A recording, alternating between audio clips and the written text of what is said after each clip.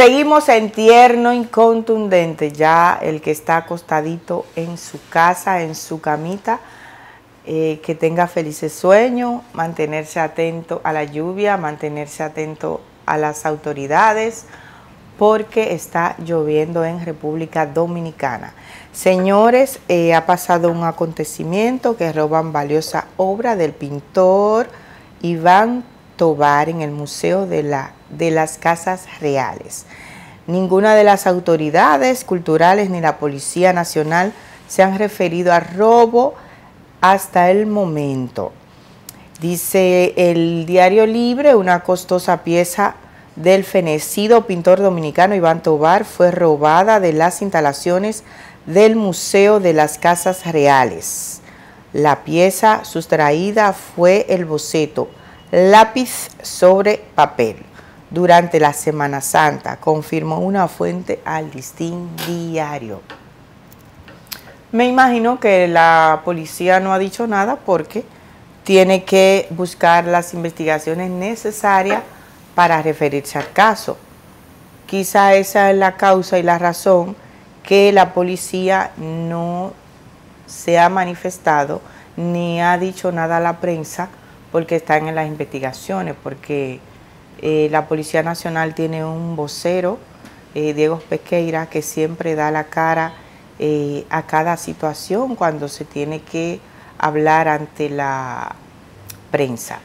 Y seguimos, entonces vamos señores a ver un video, vamos a ver un video de del Departamento de Aeroportuario inicia promoción de aviación privada en RD, Nueva York, junto al Consulado Dominicano.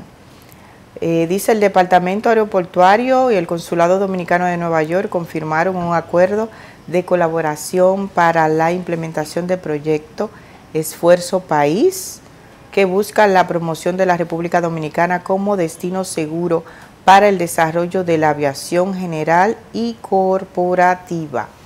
Eso son buenas noticias porque eso crece el país. Vamos a ver el video.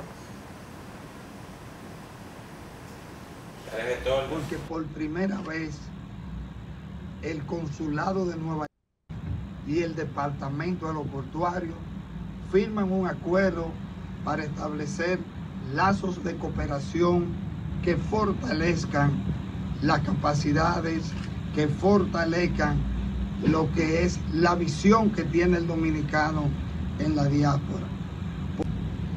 La aeroportuaria es una dinámica tecnológica que se abre camino en el mundo y la República Dominicana no es una excepción. Cada día el propósito de nosotros como gobierno es procurar que estos servicios lleguen de la mejor manera posible a la mayor cantidad posible de personas, tanto dominicanas como extranjeras. Es un avance de nuestro país, muy bien. Felicitación al director de Aeroportuaria, porque tenemos que buscar el crecimiento como país, tenemos que buscar el crecimiento en masa no particular. Vamos a seguir entonces con las informaciones. También vamos a decir informaciones buenas que el programa Senasa Cuida de Ti es un programa que hace varios años se lleva a cabo. Senasa, Senasa, el seguro Senasa, lleva eh, un programa, Senasa Cuida de Ti, lleva varios programas, pero en especial Senasa Cuida de Ti tiene varios años y que son que es darle proteína a las personas adultas mayores de 65 años en adelante que no reciban ninguna ayuda, que no tengan ningún sustento. Cada mes Senasa cuida de ti, así como se llama el programa. Le hace una evaluación a esos adultos mayores, como podemos ver en la foto. Lo chequea, lo pesa, lo revisa por todos los lados si está falta de nutrientes, si, necesita menos nutrientes, ellos le dan todas las indicaciones, la guía alimentaria del Senasa Cuida de Ti. Le dan una vitamina, le dan una proteína y cada mes ese adulto mayor cuando acude al programa Senasa Cuida de Ti que se hace en todo el país. En este caso yo estoy pasando la foto que se está, termina mañana, 22 de abril, en la Fundación Pro Humano. Eh, los doctores son muy humanitarios, eh, se dedican mucho a, a esas personas mayores, le dan mucho amor, lo chequean por todos los lados, lo escuchan, que es una parte importante, y, le, y los adultos mayores se llevan su proteína. Eh, eso es un programa excepcional. Desde este espacio felicitamos al director de Senasa, Santiago Jacín, por seguir ese programa que de verdad va a una población que lo necesita bastante, bastante. Esa población eh, adulta ya de 60 años en adelante, ya e, esa, esas personas necesitan ya otros nutrientes para fortalecer su hueso, para para mantener su organismo mucho más fuerte. Enhorabuena, felicidades y seguimos con más contenido. Eh, veamos un video de cómo se encuentra el Darío Contreras. Este video yo lo tomé ayer del Instagram de mi amigo Gilbert Guzmán. Eh, me imagino que todos estos días en el Darío Contreras está lloviendo dentro y campando fuera. Vamos a ver para que ustedes vean.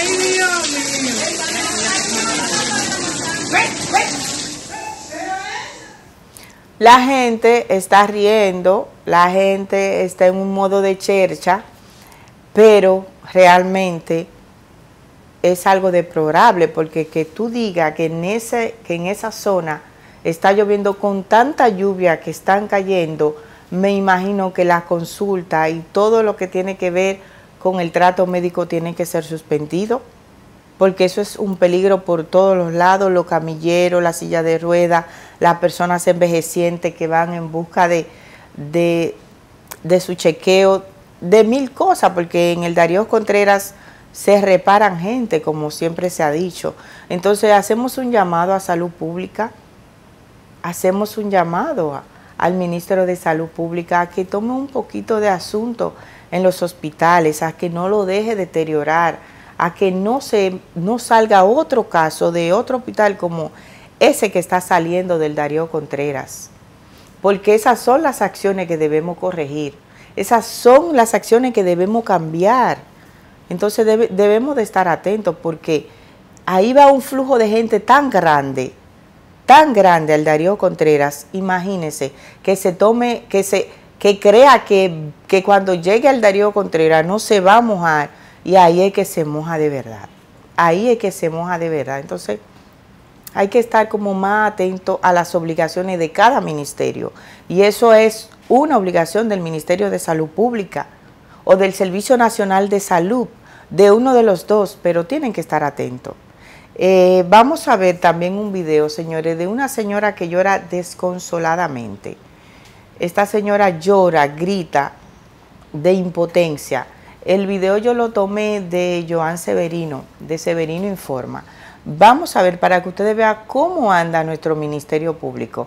Vamos a ver. ¡Maldito!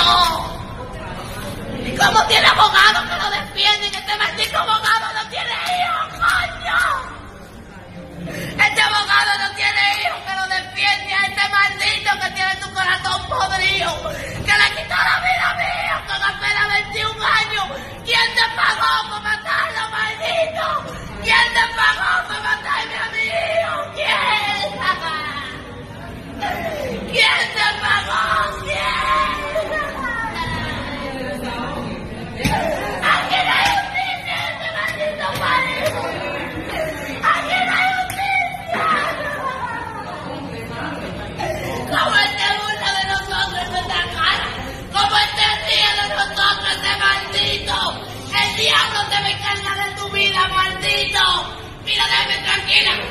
que me quitaron del medio. Que este maldito me relató. Da pena, da pena, pero dice ella, ella explota en pleno Palacio de Justicia ya que su hijo estaba preso en la cárcel penitenciaria de cárcel penitenciaria La Azulita de La Vega y otro recluso condenado a 30 años por homicidio le quitó la vida a su hijo de seis puñaladas. Esa es otra historia muy larga que se vive en la cárcel, que el más fuerte vive y el más débil muere. Una historia muy larga que se vive.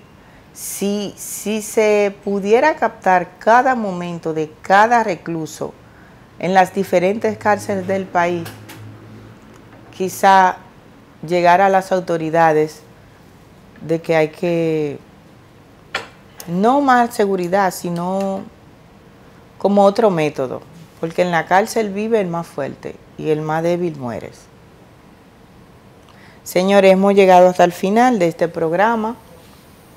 Mañana estará con ustedes José Manuel Mesa. eh, hasta una nueva entrega, Wendy Méndez les acompañó. Le dejaré con una canción serena para que duerman, para que estén en paz con Dios, porque los momentos que se están viviendo en el mundo y República Dominicana, tenemos que buscar de Dios, tenemos que estar en paz con Dios y con nosotros mismos. Pasen muy, muy buenas noches y será hasta otra próxima entrega. Wendy Méndez les acompañó. Esto fue tierno y contundente.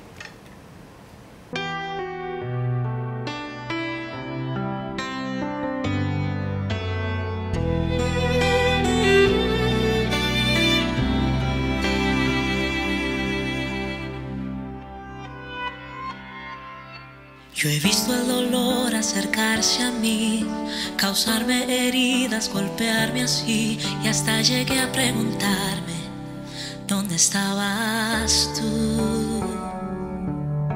He hecho preguntas en mi aflicción, buscando respuestas sin contestación, y hasta dudé por instantes de tu compasión. Y aprendí todo tiene un sentido. Y descubrí que todo obra para bien. Y que al final será